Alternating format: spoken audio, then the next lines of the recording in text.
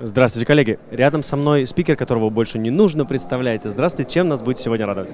Э, Добрый день. Я бы хотел сегодня удивить э, несколькими продуктами, произрастающими в Сибири, в частности в Красноярском крае. Это папоротник орляк и э, грибы лисичка. Это производство Красноярского крайпотребсоюза, есть такая организация замечательная.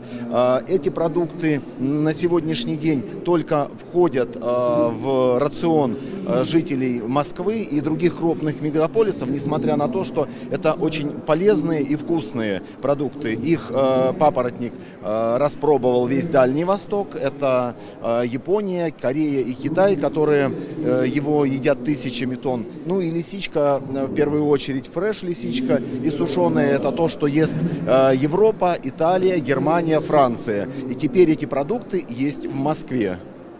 Спасибо вам за это. Э, Наверное, супер экологически чистое производство, ручной труд. Да, конечно, это продукты, которые заготавливаются людьми, а, руками. Это все делается очень экологично по рецептуре, которая, ну, по папоротнику говорю, это рецептура, которая потом папоротник уходит а, в Японию, в Корею, то есть, ну, скажем так, высшего качества. И, соответственно, это очень экологичные продукты. А, Из них получаются просто суперские блюда. И мы а, сейчас запустили площадку а, Агропромпарк Органиквилл, organicville.ru, где э, можно прямо в Подмосковье заказать себе любое количество этих продуктов. Э, и мы э, сейчас начали проводить мастер-классы для тех, кто хочет научиться готовить из этих ингредиентов. Ну и я думаю, что эту информацию можно будет в ближайшее время увидеть и на Retail.ru, и на нашем сайте, в наших соцсетях. Спасибо вам большое от всех покупателей Москвы и Подмосковья.